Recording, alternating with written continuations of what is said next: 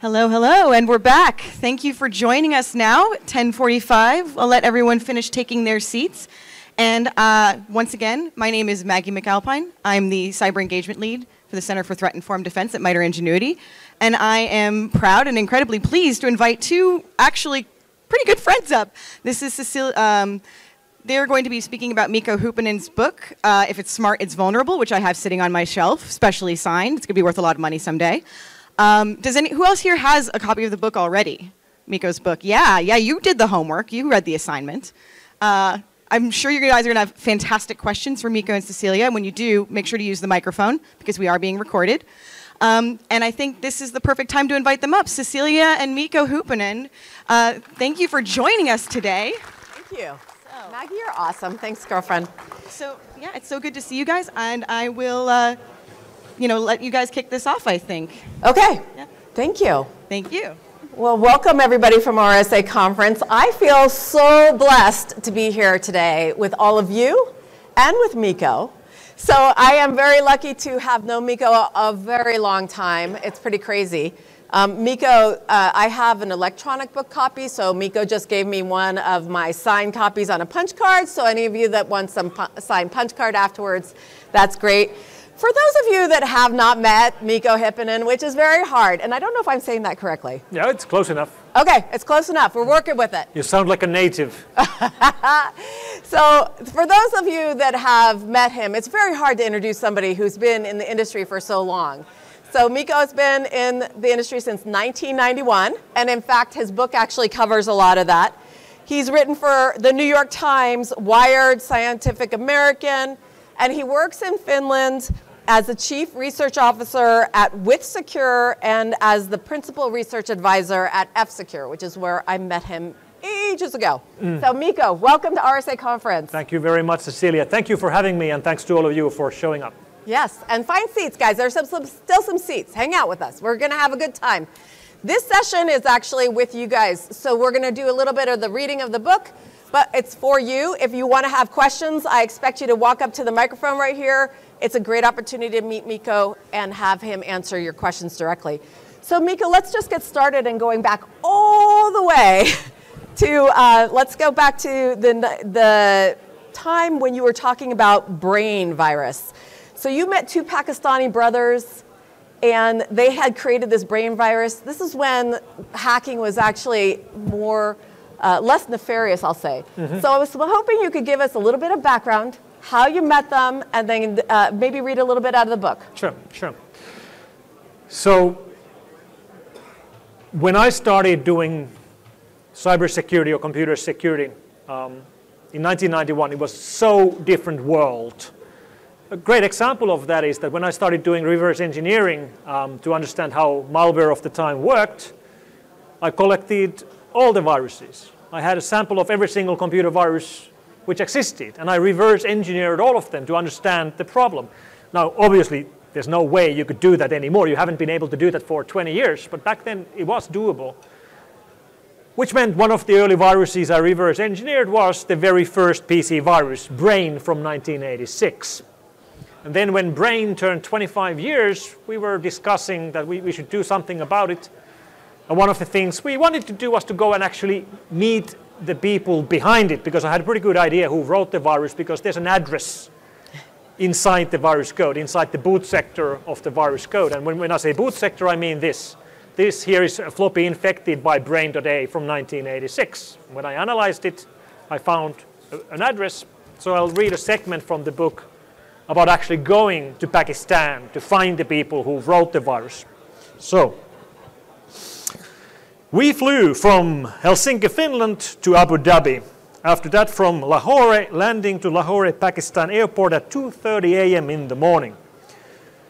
From the plane windows you could see the warm rain outside. The terminal emerged from the mist as the plane taxied onward. Once inside the terminal we noticed that it was crammed with people as if it were midday. We collected our bags and cameras, cleared the passport control, and started looking for the bodyguards I had reserved. Our SIM cards couldn't connect to the Pakistani operators' network, and it was difficult to locate anyone in the crowd. Finally, we spotted a man in a leather jacket carrying a piece of paper that said, Mr. Mikko. He introduced himself to us as Yasir. Yasir led us outside to a slightly beat up Toyota minibus. Our driver sat at the wheel, and next to him was our bodyguard, a Pakistani police officer in full uniform and armed with a pistol. Yasir explained that the three of them would escort us around Lahore during our visit and made us swear not to go anywhere without them. He then asked if we could pay their fee. I said yes and asked if he would take cash in US dollars or in euros. Dollars were fine. So I gave Yasir $300 bills and asked if he could write me a receipt. His answer was no.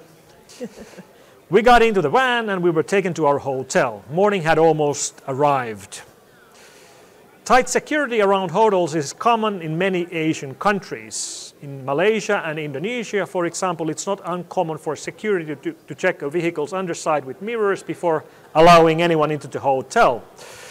However, our hotel Avari in Lahore was in a class of its own. There was no way of driving into the hotel's yard from the street. Sandbags and concrete barriers had been used to build a winding route that could not be bypassed. The hotel's guards checked our passports and examined our vehicle every time we were let go through. Inside, the hotel was magnificent with massive chandeliers on the ceilings of the lobby. We checked in, the receptionist gave me my key and then remarked that the hotel had a hidden bar in room 119. Pakistan is a Muslim country and locals are banned from consuming alcohol. The ban doesn't apply to foreigners, but the idea is to keep alcohol out of sight.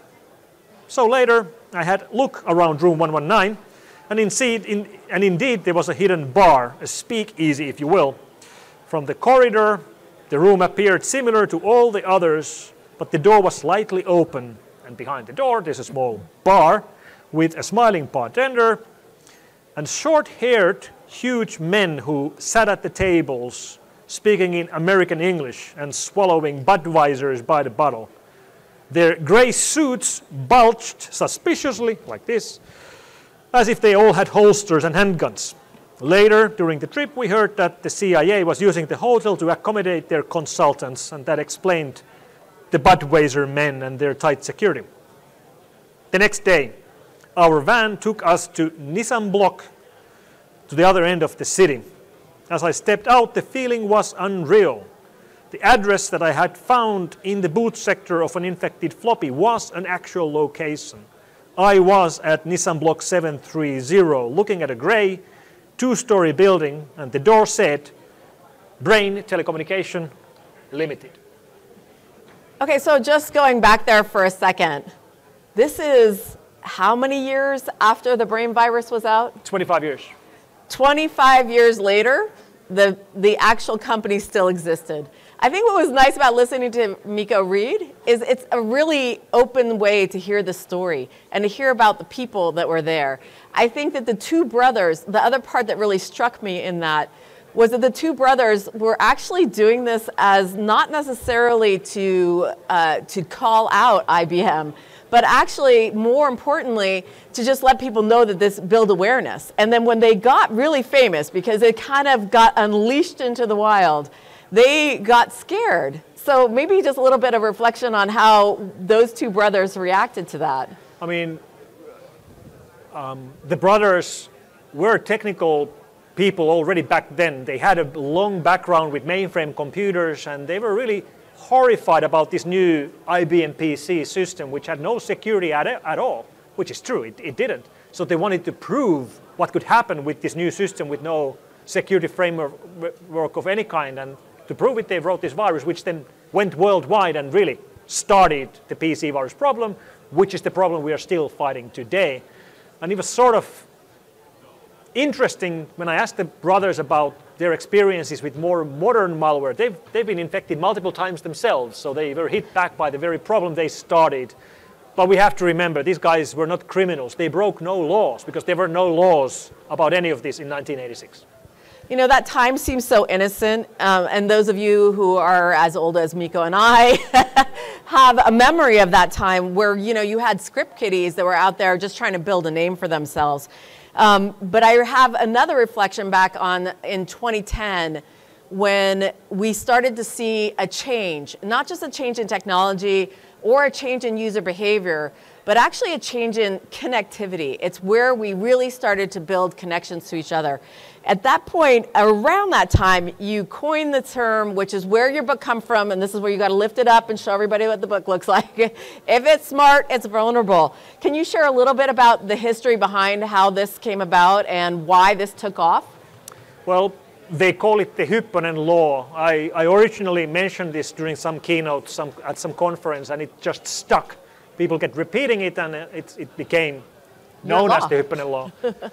And it is a very, very pessimistic law, but it's also true. As we add functionality and connectivity into everyday devices, they become vulnerable. When we make everything programmable, everything becomes hackable.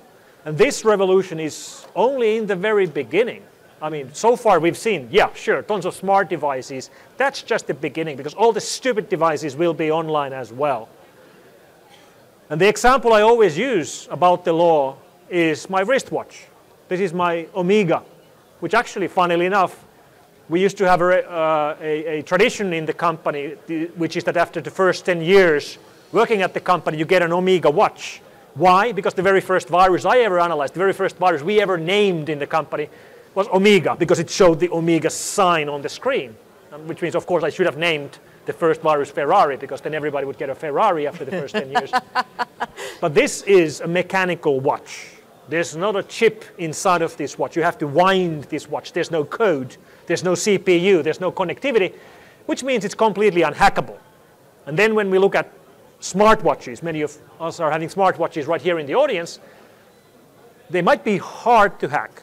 But of course, they are hackable. They run code. They are online. There's connectivity. There's functionality. And this will apply to everything. Everything will go online. And eventually, the internet grid will be exactly as necessary for our societies as the electricity grid. Yep. And there's nothing we can do to stop this revolution. It's going to happen whether we agree or not. So fast forwarding a little bit up to more like the last five years, you know, things have been rapidly evolving and our adversaries are as well funded as nation states and the largest organizations. What's the impetus and the change? What do you see changing in the overall marketplace? There's more and more money in malware. Again, when I started 30 years ago, nobody was making money with viruses or malware. That basically started in 2003. So for the last 20 years, money has been the main motivation for malware writers. It's not the only motivation. Of course, we have nation state attacks, espionage, cyber war.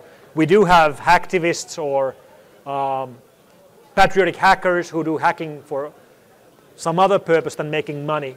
But when we, for example, look at the inflow of samples coming into our labs today, around 98% of the samples we analyze are coming from organized online crime groups, and they do everything they do to make money.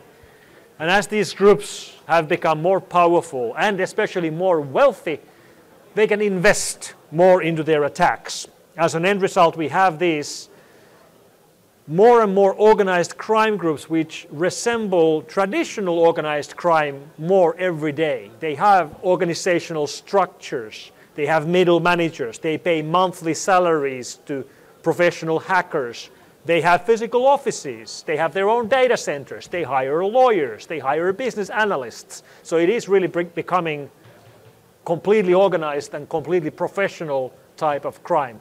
Organized cybercrime um, by organized crime. You know, coming into this, you're now in Silicon Valley where we have, you know, we talk about unicorns all the time. Mm. You kind of coined the, firm, the, the term cybercrime unicorns. So I'm kind of curious, do you feel like those cybercrime unicorns, as well funded as they are, now that you're seeing them become more, and I want to say legitimate in the sense that they've built out business structures, do you see that this is going to continue to trend this way? Or do you feel like there's been some shift happening a little bit with the governments coming down and taking down ransomware gangs? Hmm. initially the whole term cybercrime unicorn was more like a joke because five years ago it wasn't realistic. However, it's not funny anymore. It, it has become more and more real. When you look at the, the largest groups, Lockbit, Alpha, Clop, you look at the revenue they've been making for years, which has been increasing, maybe doubling year by year, and you add on to the fact that these groups don't keep their wealth in dollars or euros or not even in rubles. No, they keep it in Bitcoin. And it, they had a sizable amount of Bitcoins already five years ago, which have then increased in valuation hundredfold or thousandfold. That's one of the big sources of their wealth. And that makes them powerful and that makes them scary. And then when we have, um, then when we look at the only nation state that's doing actually attacks where they're trying to make money, we have to look at North Korea. When we look at attacks from nation states, it's always about either espionage or sabotage. Most of the na nation state activity is about stealing information, so espionage. Some of it is, is building sabotage, like Stuxnet is the seminal example, or uh, you know, um, cyber war examples we've seen over the last seven years in Ukraine as Russia has been waging cyber war against Ukraine. But then there's the exception, that that's North Korea. North Korea is the only country in the world which has done both ransomware attacks but also hacking into cyber, uh, sorry, cryptocurrency exchanges and other similar systems to try to make money. How come a country is trying to make money with ransomware? Because they're trying to fix their budget deficit. It's a very poor country which has been sanctioned the only way they can really make sizable amounts of money is with crime. And today, cybercrime makes a lot of money, and they get the proceedings in Bitcoin, which are very hard or even impossible to sanction. So it makes a lot of sense. The biggest successes yeah. against these cybercrime gangs we saw a year and a half ago after the uh, JBS and Colonial Pipeline attacks here in USA, US State Department started offering $10 million bounties for Russian cybercrime gangs. As an end result, we saw more arrests into the biggest cybercrime gangs than we've ever seen in history. Unfortunately, all that ended in February 2022 when the war reignited from as Russia invaded Ukraine, and that changed everything. Do you want to talk a little bit about like the change of cyber warfare? I mean, we you've thought about detente before, but what do you think, or do you want to read about it out of your book? Mm. I know you talk specifically about cyber warfare. Sure. There has been a much, there has been a big change. Cyber weapons are interesting to governments and militaries because cyber weapons work. Cyber weapons make a lot of sense. Cyber weapons are effective, they're affordable, and they're deniable. Affordable, effective, deniable. That's a great combination in a weapon. That's a combination you don't get with any other kind of weapon. The end result then means that if you have to launch an attack against your adversary, if you do it in the real world, you can't deny it. If you do it in the online world, it's very hard to prove who actually did it. Again, going back to the seminal example, Stuxnet, we know exactly who wrote Stuxnet. US government together with the Israelis. However, I can't prove that. Like 13 years later, we still can't prove that. That's how good the deniability is. And this means that our conflicts and our wars have expanded into yet another new domain. Technology has always shaped the way we handle our conflicts, the way we fight our wars. 500 years ago, the only, the only technology we had was swords and bows and arrows, then simple cannons. But then technology enabled warships, then warplanes, and war expanded from land to sea and to air.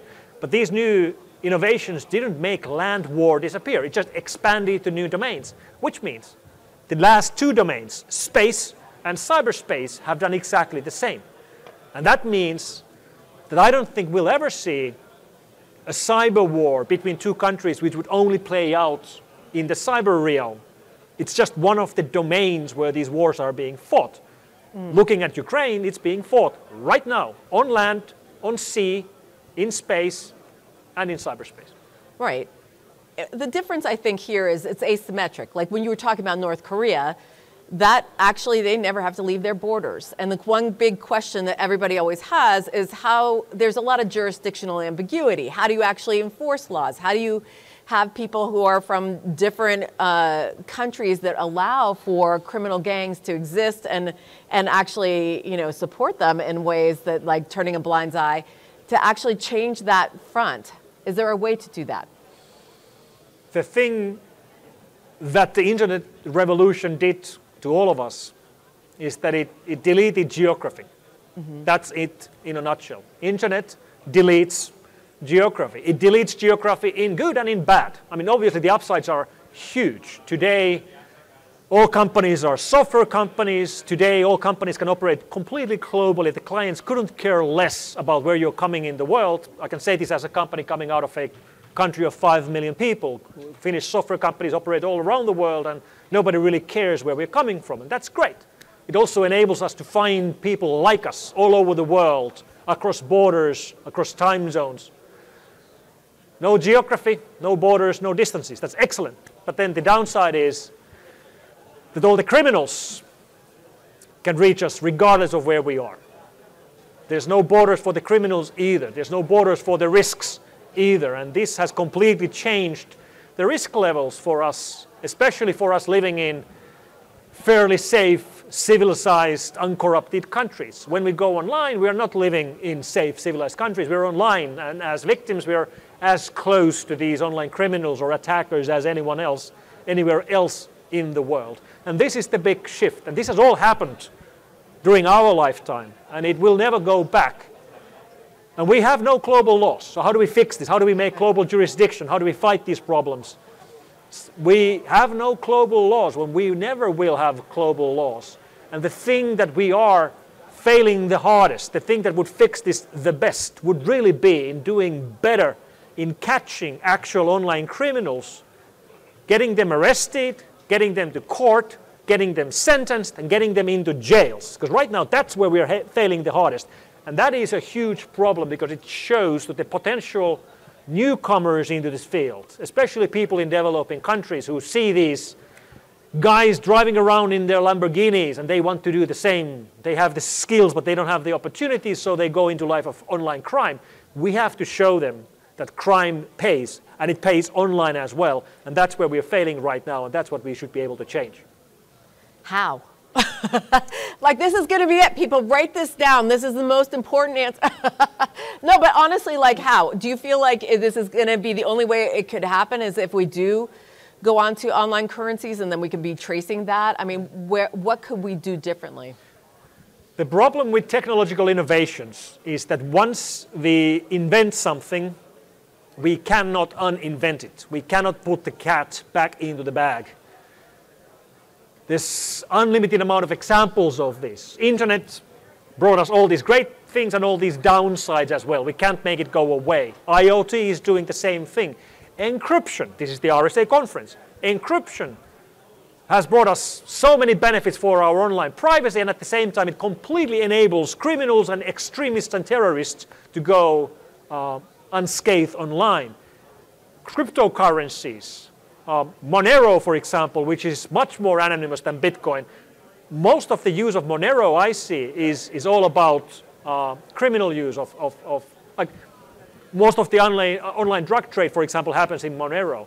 And we cannot make these things go away. Once they've been invented, they are here to stay. And we often speak about these technologies as if they would be innocent, that it's just a tool. It's, it's, it's like a hammer. You can use hammer for bad or for good. Well, that's sort of like a lazy, lazy reply to a very real problem. We have a responsibility about the innovations we do. We can't just explain them away that they could be used for good as well. It's true, you can use these for good and bad, but it's, it's, it's, it goes way beyond that. We, we really should think about the responsibility we have for the technical innovations we make as well.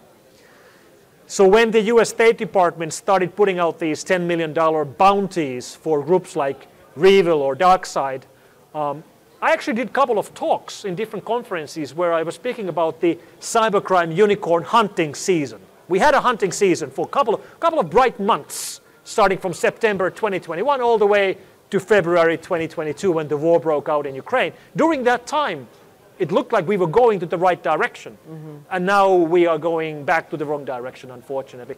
However, there's some bright news about uh, not about ransomware, but BEC, business email compromise, uh, or CEO scams, which is one of the largest problems in uh, money-wise after ransomware. There's actually been great projects coordinated by Interpol of actually arresting uh, scammers, especially in, in Africa, yeah. which actually have been uh, taken to court and have been sentenced. So there's some uh, bright examples of law enforcement, international law enforcement, being able to find criminals and actually put them behind the bars. Yeah, I mean, there was a recent one that was international, and you saw the FBI coordinating with people in other countries, and they were able to pull down uh, ransomware gangs. I, I, this is uh, for you guys as well. So I still have a couple questions up here, but I'd love for you guys to join me in asking Mikko any questions. So um, we were talking a little bit about um, the cyber warfare and the race to the bottom. Can you talk any more about like what's happened with the Ukraine war different from 2014 to today? And where do you see international uh, or organizations and groups working together to kind of help the Ukrainians, for example? Mm. Obviously, Ukraine needs all the help we can give to Ukraine right now. So I live in Helsinki. I live 100 miles from the Russian border both my grandfathers fought the Russians in the Second World War. We have a very big and very unpredictable neighbor. I also come to you um, from the newest NATO. NATO. member country in the world. Congratulations. Yeah. Let's raise Finland just joined. Yep. Thank you, thank you. We, we just doubled the NATO border with Russia. Congratulations. so the conflict um, is very complex, but looking at just the cyber part, I could easily claim, and I could actually prove it to you, that Ukraine is the best country in the world defending their critical infrastructure against attacks from the Russian government. Ukraine is the best, better than Finland or Germany or France or United States or anyone else. Why? Well, in Finland we have a reserve system. I go back to the military regularly. Whenever we do rehearsals, we build these scenarios and we imagine how we would defend if Russia would do this, or what would we do if the Russians would, would do this. We play make-believe. We play tabletop exercises. That's not what the Ukrainians are doing. Ukrainians have been fighting real cyber attacks from Russia since 2014. And the experience they've had over these years is what makes them the best. Russians have been successful in their attacks against Ukraine over these years multiple times. They've got power in their capital multiple times. The last time they tried, they failed because Ukraine is learning and they have very powerful friends from the West. Security companies like ours, we try to help them much as we can. The biggest technology companies in the world, like Microsoft and Alphabet, are putting a lot of resources behind Ukraine as well because we have to stop Russia. So that's the governmental part. The conflict is also unique because of the work of non-governmental actors. The IT Army of Ukraine, which operates inside Ukraine against Russia and has volunteers around the world supporting Ukraine against Russia, is a great example of that. This is the first time in history when the vice prime minister of a country has been calling out for foreigners to come break your laws in your own countries to hack a country to support us in this war. And people have responded to that call and joined this common cause. Now, I don't recommend this to anyone, but I understand yeah. when people do it. I totally do. And then when we look at volunteers from the Russian side, there's now over 70 Russian volunteer groups uh, which are not part of the Russian government launching attacks against Ukraine and against entities in the West. Uh, groups like XakNet, Killnet, No Name 57, and more, groups that didn't exist before February 2022, that appeared out of thin air when the conflict reignited. And these groups have been attacking critical infrastructure all across Europe and critical infrastructure here in the United States as well. For example, our uh, defense ministry has been attacked. Our, uh, when Zelensky, president of Ukraine, was addressing our parliament, the parliament website was attacked. And when our defense ministry went down, the website went down, my phone started ringing. Journalists in Finland were calling me up almost in panic. That, oh my God, Zelensky is speaking to our parliament and now the Russians are attacking our defense ministry. What does it mean? And I asked every single one of these journalists a simple question. When was the last time you visited the website of the Defense, Defense Ministry? And of course, nobody ever goes to the website of the Defense Ministry. It, it's clearly not critical infrastructure. It's just a website. It has nothing to do with the operational capability of the ministry, much, much less with the operational capability of our, of our military.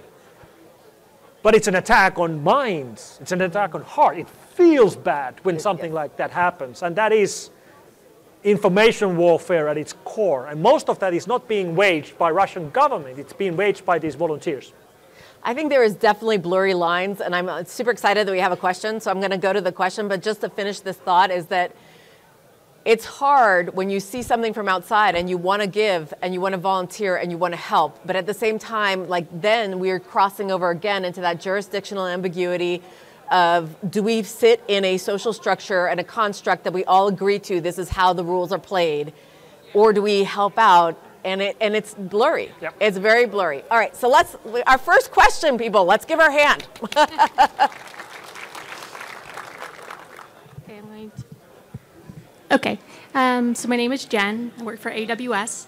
Um, and my question kind of gets to it's hard to continuously evaluate and determine risk. And so, one of the things you were talking about was bringing um, the cyber criminals organizations to justice. And uh, that can be really hard. Uh, typically, the story's been told because it's Bitcoin and all the transactions are anonymous. But we've started to see some success. There was uh, an article in the Wall Street Journal last week um, about uh, Chainalysis, a company that was able to analyze the blockchain and from that be able to figure out who individuals were, um, and then from that be able to make arrests. Do you see that as an area of additional research and expansion? Because I know, as you said before, there are other things that are have a bit more anonymity, but those are really interesting problems um, for people to really think about and unlock because we have such greater amounts of computing power. Yeah. Thank you. Great question, and the article you referred to in Wall Street Journal about Chainalysis and the work they do was really, really great. It really covers how the Bitcoin blockchain is a public ledger of every single transaction that has happened in the Bitcoin blockchain since 2009. Uh, yeah, 2009. Amazing how long it, it has been. Yeah. And every single one of those transactions is unchangeable forever and public forever. And you can do research work figuring out how money movements have been happening over all those years. We often say that for a company or organization to get hacked, you only have to make one mistake and somebody can get into your network or into your systems. Well, the same thing applies to criminals as well. All the criminals have to do is to make one mistake and then we can catch them.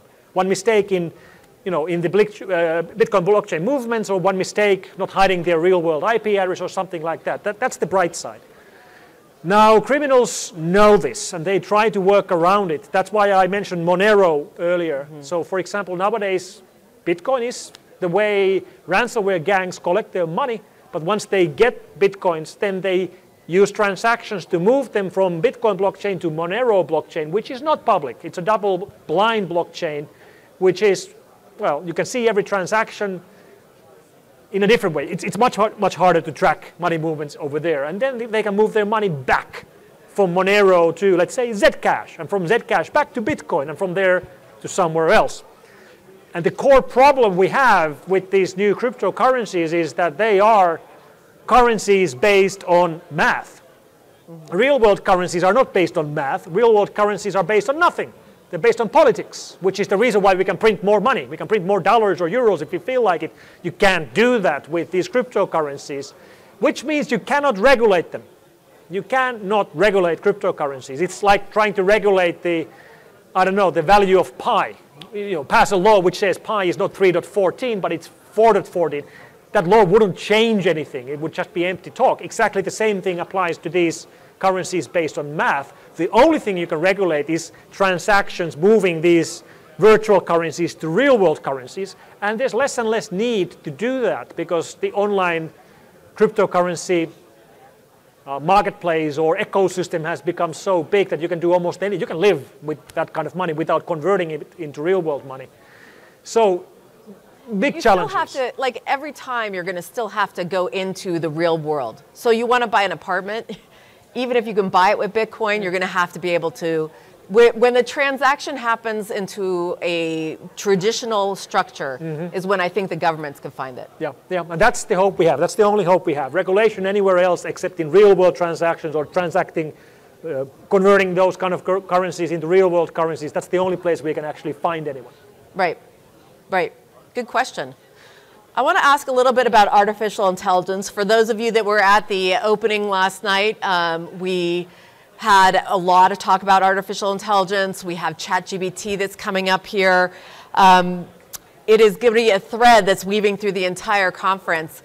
And I kind of want to get your feel on it. We've seen a huge shift in how people feel about it. And there's a difference between machine learning and artificial intelligence. Where do you see this happening? Where do you see the nefarious groups using it? And where can the good guys use it? Mm. So the word computer means to compute. Basically, it means to calculate. In many languages, the word for computer means to calculate or maybe to store data. For example, in Swedish, it's dator, which means to store data. Mm -hmm. In Finnish, in my home language, a computer is a tietokone, which means knowledge machine. It's a machine which knows. Right. Now, I've spent my whole life with these tietokone machines, and they, have, they didn't know anything. They, they weren't really knowledge machines until the last year. You know what I'm speaking about. Finally, for the first time, we have these large language models which know stuff. Instead of using a search engine which will point you to places where the information is, we now have engines where we can ask questions and they know the answers. And the reason why they know the answers is that they are machine learning systems and we've taught them everything we know. We've given, or OpenAI has given GPT most of the books the mankind has ever written in any language. Mm -hmm. As an end result, GPT speaks all the languages I speak. It, it, speaks better Finnish than I do. It speaks Finnish dialect, which is really weird. And it speaks all the programming languages I can program, which is really weird. So this is exciting and, and, and great and awful and scary at the same time sort of like what internet was when it came as well. Really great and really awful at the same time. We started building our first machine learning systems inside our company for building cyber security solutions in 2005, probably years before most other companies did. We kept it as a big secret because we were Finnish, but we didn't like to boast or, or use it for marketing or anything clever like that. But eventually, we did have um, our own machine learning systems, which today handle hundreds of thousands of cases every day. They know the difference between good and bad, are able to make the call, which is great. And all those years, for 18 years, we've been waiting for the attackers to make this same move. We've been waiting for attackers to start using machine learning frameworks to, for example, to create malware. Six weeks ago, I got an email. A virus writer had written a new virus, and he was so proud about his creation that he emailed me. The virus in question is called LLMorpher. It's the very first piece of malware we've ever seen which uses a large language model to rewrite its code every time it replicates to a new file. The author of this virus is known as SPTH. He's an old school virus writer who's not interested in money. He's interested in the challenge. He writes completely new kinds of computer viruses and publishes them on GitHub. The last major virus he wrote infects DNA. When you use DNA decoders to analyze DNA, it's actually able to infect that code which is decoded in these decoders, which sounds pretty scary. That's the kind of things he does. So what is LLMorpher? It's a Python worm when it executes on a computer, it locates Python files and copies its own functions into those files. When these files are moved to other computers, it replicates to other computers, and then to other companies, to other countries, so on. The kicker is that it's not copying its own functions straight off. It has English language descriptions of every single function. Then it uses an API call to ChatGPT and asks, asks ChatGPT 3.5 to write these functions for it. Write me a Python function which does this, this, this, and this. And those are the functions which it copies to the files it infects. As an end result, every time it infects a new file, the code is rewritten. As an end result, it would be trivial for anyone to, to modify this to rewrite the virus in any other language. It doesn't have to be Python. This was six weeks ago. His story happened six weeks ago. This is the very first large language machine learning model used in malware. It's not spreading in the wild. Then again, it's on GitHub. Any one of you could go and download it right now. And it is only the very first step. We will be seeing more of this, and that's when we will see that the only thing which can beat a bad AI is a good AI. Okay, well, give some positive here. Give good. What does the good AI do? I know. At least some people are. right now, it's easy to see that the automation level of the largest um, cybercrime gangs is still pretty basic. It's awfully manual, surprisingly manual. You look at malware campaigns, let's say ransomware campaigns. Mm -hmm. Once they deploy the campaigns, you can campaigns, you can see them like scanning the internet, finding vulnerable machines, sending out malicious emails. And when these scan attempts get blocked, their IP range is blocked, or when their emails are blocked, they register new domains, new IP ranges, create new websites. They do all of that manually. It's humans doing it. And all the reactions, the blockings are coming from cybersecurity companies, and that's automated. So we have machine speed fighting human speed. That's the situation right now. That's a great situation to be in. Reaction times from defenders are much, much faster than what, what they are from the attackers. And this will soon end. Within, I'm guessing, months, we will see them start to automate their processes because they could easily automate all of this. And then their reaction times would go down from hours or minutes into seconds. And that's when we will see exactly who will win this race. It, now it's a little bit hard to forecast, but don't worry, we'll see it very soon. Okay, but it's still, I don't feel positive here. Sorry, like I, I, get that a lot, sorry. I know, I know. Well, so I want to go into, and, and like I said, you guys, we have about eight minutes left or nine minutes left, um, and if you have questions, please come up and ask. But in your book, you talk about privacy is dead, and that to me breaks my heart because we all have young people in this world that are getting online early and they are being exposed and tracked and I don't want to give up that good fight. So can you share a little bit about what you're thinking about privacy and is there a way that we can recapture some of, you know, beyond the GDPR? Mm. When the web came around, I set up the first website for our company in 1994. And I remember discussing this new web thing inside in our lab. Like we were looking at these different websites. You know, there were, there were 17 websites in Finland. Yeah, great, let's look at these. And I remember chatting with the guys and girls that, you know, this is going to be a big thing. Eventually there's going to be thousands of websites, maybe, you know, 100,000 websites, who knows? There's going to be all kinds of services online, maybe newspapers, maybe weather report will be online, maybe even movies. And then someone said, hold on, hold on, like how, how are companies going to monetize that? Like how, how would you be able to have like services, like the weather report online? Certainly newspapers are not going to bring their services online without being able to make money. How, how are we going to pay for these? And of course, in 1994, we have no idea. So we guessed that there's going to be a payment button. There's going to be a button inside our browsers. I would like to read this news article. Click, and then you pay a cent or two cents or half a cent for the right to access whatever content you want to access. That was 1994. That was 29 years ago. We still don't have that button inside our browsers. There's still no built-in micropayment system anywhere. Instead, we came up with a completely new way of paying for content, which is track everybody on the whole planet, build profiles and dossiers of everybody, and use that to make mass marketing and advertisement systems on all of us. And as an end result, before our generations, the mankind had privacy. After our generations, we don't. Privacy died, and it died during our watch. We can try to reclaim some of that with regulations like the GDPR, but it's hard. Google is not a search engine. It's the biggest ad agency on the planet. And I really wish we would have gone the other route. I really wish I could pay for content with money instead of paying for content with my data. Okay, but I'm not giving up. Okay, you guys, I want you to know that even I'm up here with Mikko, and I'm going to say, I think that we will be able to not just be forgotten online or find other ways, but I, I do believe that this is something that we as an industry can actually think through. So I'm going to come, I want to ask, is there anybody have any open questions? Does anybody raise their hand? Anybody want to ask about Mikko's experience, his first time he found the bug? And I don't even know how to say it. Is SB SPTH. yeah. Yeah. You guys want to talk about? Uh, okay. Yay! Questions. Hey, uh, I'm Dane from Select Equity Group. Uh, nice to meet you, sir. Uh, I just have one question. What is your outlook on cybersecurity for the good and bad guys in the next like 50 years? Do you see the good guys taking over or the bad guys? Ooh.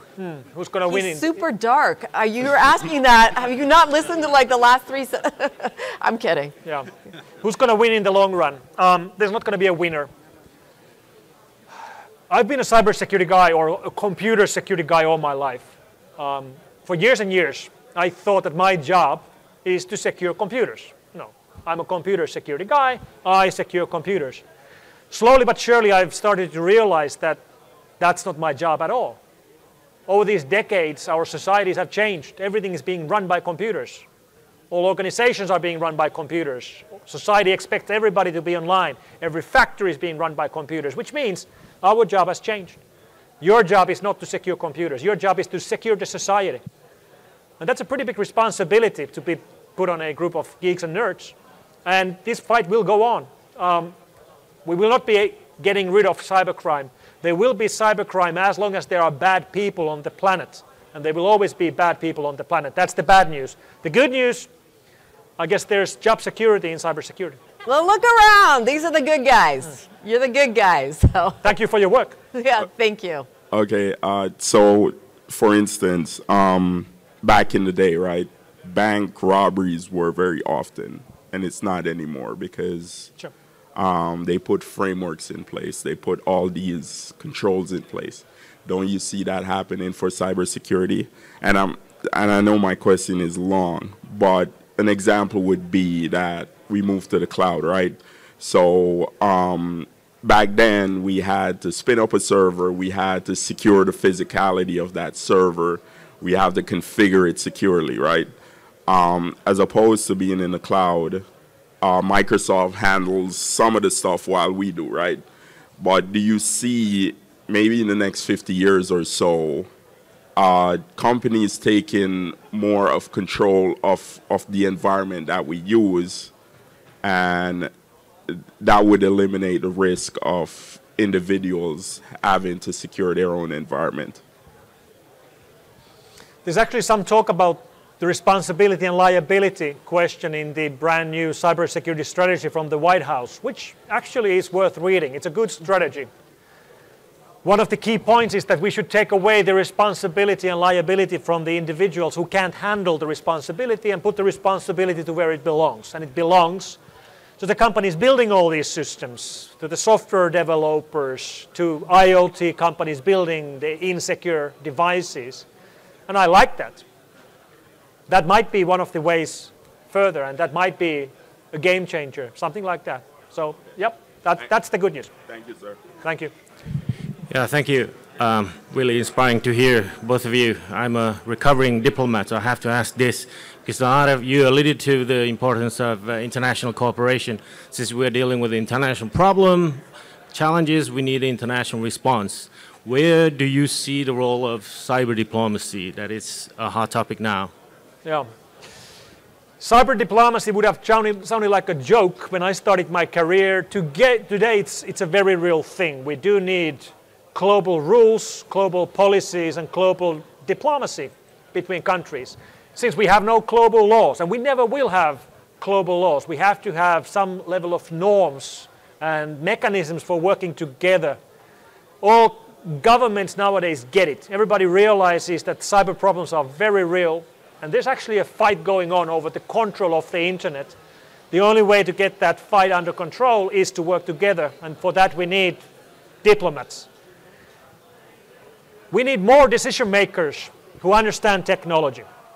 We need more politicians who understand coding. We need more engineers as decision makers. And that's going to happen in the long run, but it's slow. Eventually we will get there. And uh, regardless of everything I've seen in my career, I'm still an optimist. And the reason why I'm an optimist is that I believe it's too late to be a pessimist. Write that one down because that's going to be his next law. And I actually agree with you. I mean, one of the things, one of the reasons that RSA conference is so important is we do bring in the diplomats and we bring in the people from the business side and we bring in the people from the government side and we're trying to make everybody have a conversation and cross fertilize ideas. So, our last question we have one minute and nine seconds. It's, you're up. hey, I hope I can uh, keep it short. Um, you have a long career, started in the 90s, we're now in the uh, uh, second, uh, in, the, in the 20s of this century. Um, what keeps you motivated? Hmm. Wow. Great question. It's a great question. I when I was a boy, when I was 10 years old, my aunts and relatives would ask me, Mikko, what do you want to be when you grow up? And I always answered, I want to be a doctor. Mikko, why do you want to be a doctor? Because I want to help other people. Then I realized a little bit older that I can't actually look at blood. I don't like looking at blood. So you can't become a doctor if you can't look at blood. So I didn't become a doctor, but I did become, I don't know, a virus doctor of kinds. And I guess the reason is the same.